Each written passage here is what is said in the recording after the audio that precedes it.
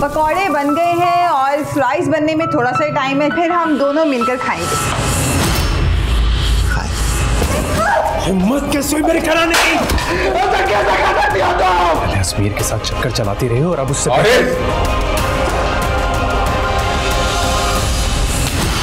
दुश्मन को पता ही नहीं चलना चाहिए कि उससे दुश्मनी है। फितना। जल्द आ रहा है।